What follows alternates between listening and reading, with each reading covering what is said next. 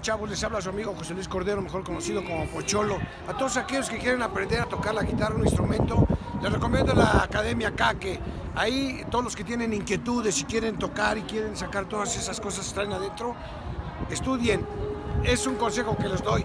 ¡Yeah!